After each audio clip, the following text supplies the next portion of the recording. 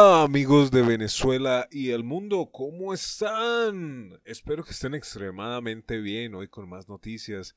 Desde tempranito he estado mandando información y motivación a todos los que nos oyen en Venezuela y al mundo. Hoy con una información realmente interesante, buena, veraz e importante, porque el bobo de Miraflores, el tontarrón garandote, el bigote brocha, el como le quieran decir, el maduro coño de su madre, porque no tiene otra palabra, y perdónenmela, pero más que la verdad, pide ayuda de nuevo a Rusia. Él no confía ya en sus fuerzas armadas en Venezuela. Les cuento, él no tiene confianza en sus fuerzas, así que entenderán por qué, ¿verdad? ¿Saben por qué tiene tanto miedo?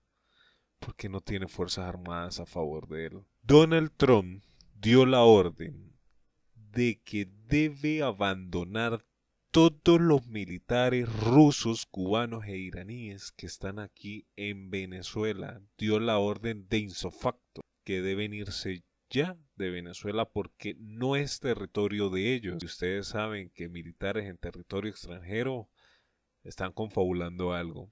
Les cuento que dos millones de colectivos más o menos son los que protegen al asesino de Miraflores, al bobo grandote, al estúpido ese que llamamos burro o maduro, que se apichó antes de nacer. La mayoría de estos colectivos, de estos dos millones, son ancianos o personas que pasan de 50 años de edad.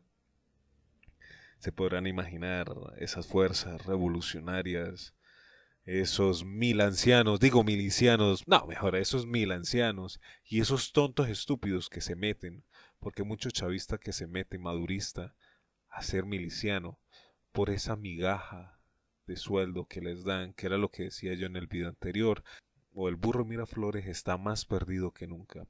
Juan Guaidó se está preparando para dar un golpe devastador con Donald Trump y los militares que lo apoyan. Les cuento algo importantísimo que para mí me llena de alegría, es que la Iglesia Católica, la Iglesia Cristianas en Venezuela están a favor de Guaidó y aceptan una intervención militar. La única manera de que Venezuela sea libre es con intervención militar.